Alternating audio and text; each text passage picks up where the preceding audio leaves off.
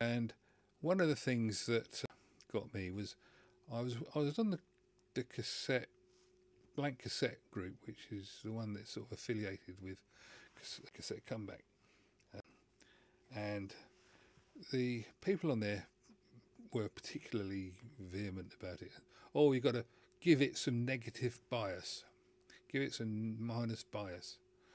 No, there's an oxymoron. Give it more, less bias. So that's what they're saying. Uh, because the because the bias controls on most decks have got a plus and a minus on them, and because they don't understand what bias is, they think if they turn it to the pl- to the plus side, they're giving it plus bias, and then they think if they turn it to the to the other side, they're giving it more negative bias. Well, how can you give it more of something you're taking away? It's a volume control, and when it's in the zero, and when it's in the middle position, that's zero.